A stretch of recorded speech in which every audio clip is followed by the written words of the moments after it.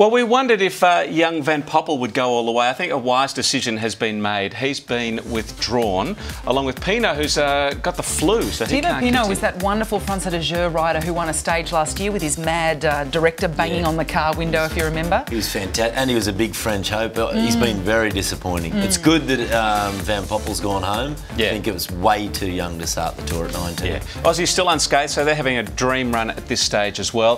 179 will start a little bit later.